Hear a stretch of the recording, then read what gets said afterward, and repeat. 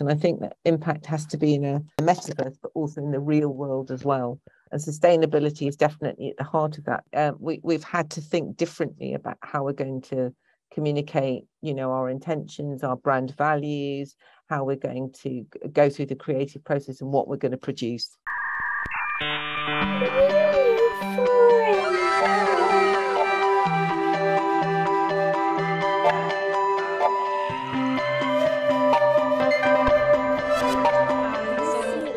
About our financial system